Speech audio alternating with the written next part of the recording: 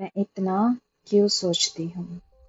मन को इतना क्यों नोचती हूँ? जिसको जो सोचना है, सोचे अब। वो क्या सोचेंगे? मैं ऐसा क्यों सोचती हूँ?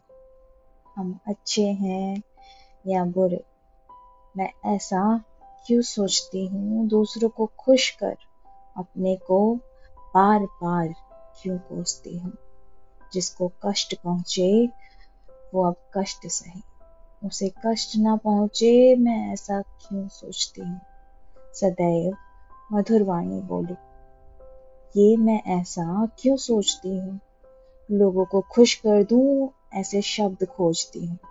लोग हैं, सीधे वाण चला देते हैं दिल पर। फिर भी मैं ऐसा क्यों सोचती हूँ?